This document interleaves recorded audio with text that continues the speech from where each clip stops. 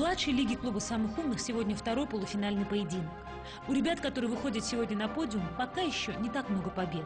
Но зато очень много желания дойти до чемпионского поединка. И главное, сделать это не с насупленными бровями, а в настоящей яркой и веселой игре. Илья Малиновский из Нового Рогачика дважды становился финалистом своих поединков. Год назад уже играл за чемпионское звание и уверен, что узнал очень важный секрет, что для получения знаний нужно только желание их получать.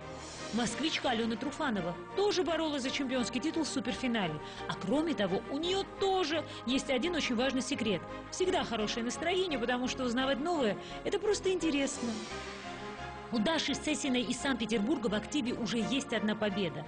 Но она не считает, что это повод для гордости. А вот если выйти в суперфинал и стать чемпионом, вот тогда, может быть, и этот повод появится. Максим Дремов из Симферополя. Трижды играл самым умным и трижды останавливался в шаге от победы. Но в конце концов должна же удача улыбнуться именно ему. А если так, то почему не сегодня? Владислав Чебанов из Владикавказа не думает о том, есть ли у него победы. Самое главное, он очень любит спорить, значит, у него есть упорство. А если есть упорство, то вскоре обязательно появится победа. А у Пети Рудова из Долгопрудного в активе всего одна игра. Но уже в этой самой первой игре он стал победителем, а кроме того, он уверен, что и победы, и знания приходят только к тому, у кого есть цель. Итак, можно выходить на подиум. У каждого свой маленький секрет для победы. И еще простая ясная цель в игре. Трое лучших станут суперфиналистами. Трое лучших продолжат борьбу за звание чемпиона.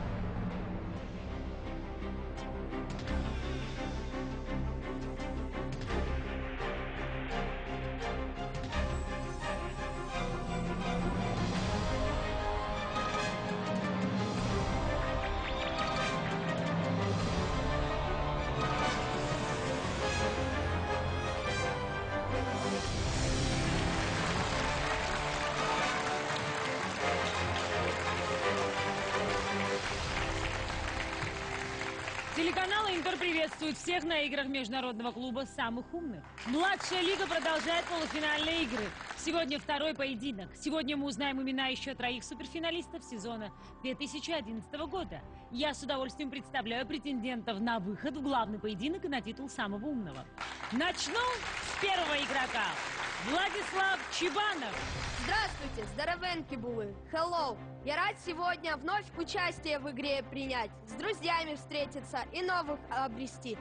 Я рад, что увлечения мои мне в жизни могут помогать. Ну, все, давайте начинать играть. Екатерина Дорощенко. Здравствуйте, я из города Житомира и рада снова стоять за этим пу- игровым пультом, чувствуя вкус игры. Давайте же не будем томить зрителей и этого милого сурка ожиданием, и начнем игру.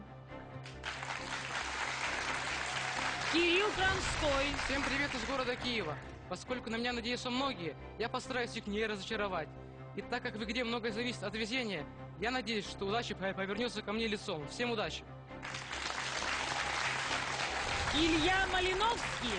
Привет всем из степного поселка Новый Рогач. Мы снова на игре.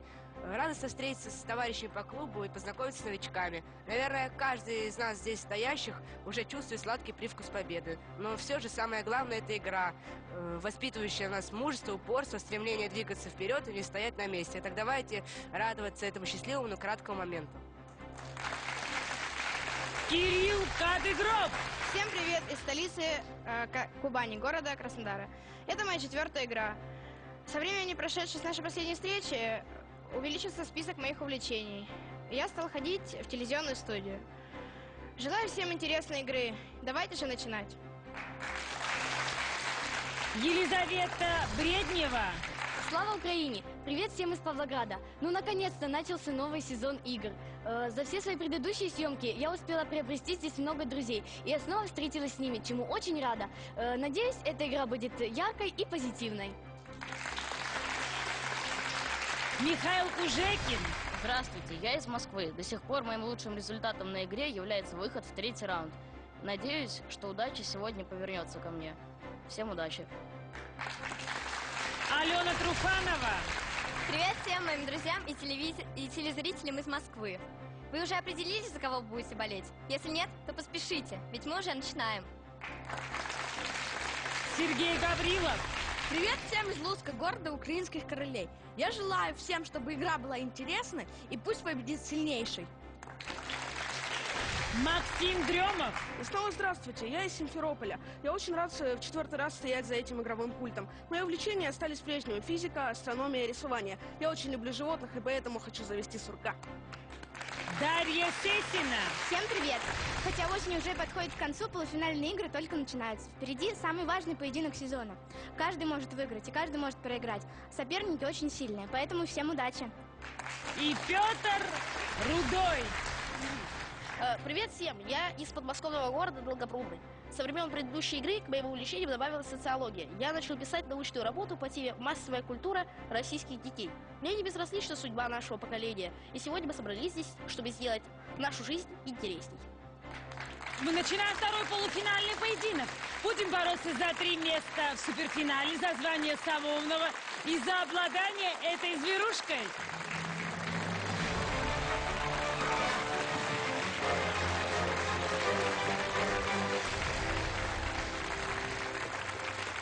А еще победитель сегодняшней игры получит специальный приз от партнера нашей программы интернет-супермаркета «Розетка UA».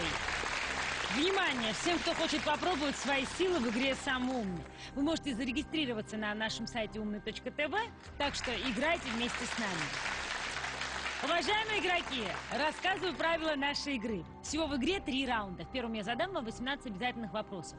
Каждому вопросу предлагается 4 варианта ответа, из которых только один правильный. Шестеро лучших пройдут в полуфинал. Вы знаете эти правила, поэтому... Поэтому вы меня невнимательно слушаете. И для того, чтобы вы меня стали слушать внимательно, я начинаю первый раунд.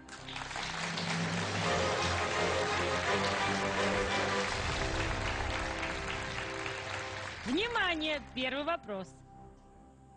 Имя какого литературного героя носит остров в Тихом океане, на котором несколько лет жил в одиночестве моряк Александр Селькирк? Лемюэль Гулливер, Робинзон Крузо, Эдмонд Дантес или Питер Блад? Имя какого литературного героя носит остров в Тихом океане, на котором несколько лет жил в одиночестве моряк Александр Селькирк? Прошу вас, Елизавета Бреднева. Я думаю, что это Робинзон Крузо, потому что образ э, Робинзона Крузо как раз писался с моряка Александра Селькирка. Абсолютно верно, и 11 игроков справилось с заданием.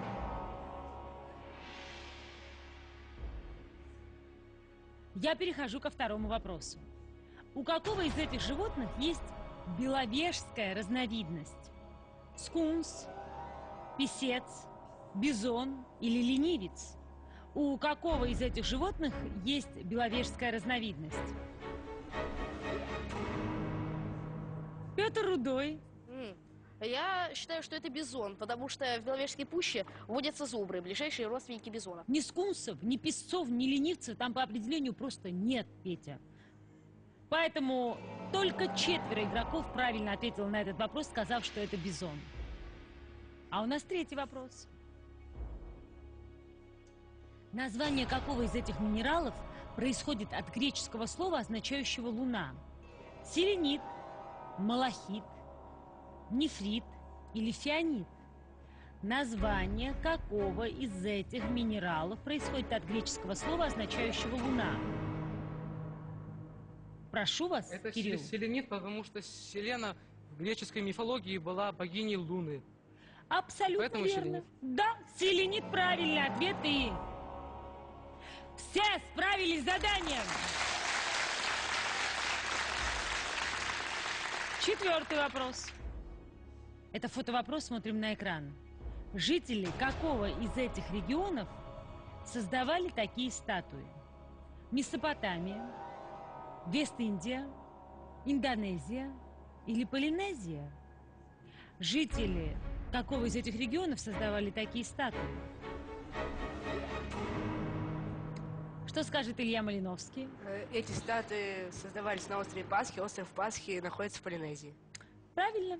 Полинезия правильный ответ. И 11 игроков справилась с четвертым вопросом. Перейдем к пятому вопросу. В каком из этих видов спорта игры, как правило, заканчиваются с наименьшим счетом? Футбол, баскетбол, гандбол или регби?